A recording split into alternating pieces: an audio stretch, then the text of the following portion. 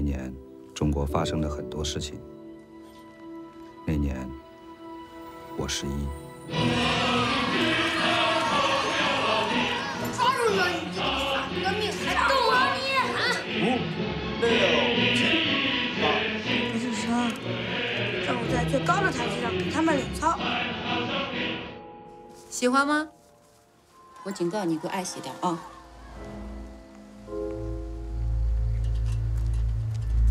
上次四幺幺爆黄浦东的事情明白。哥哥，你没戏拍你就回来，你去惹他们干嘛呀？我惹他们了吗？我管他娘的什么四幺幺爆黄，我咋了？连听听都听到，你不要命了？放假了，那正好。爸爸这两天上班。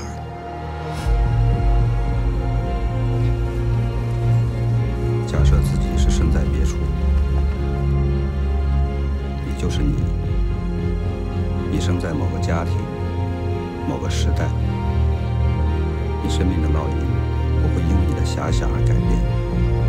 你所能做的就是接受，它。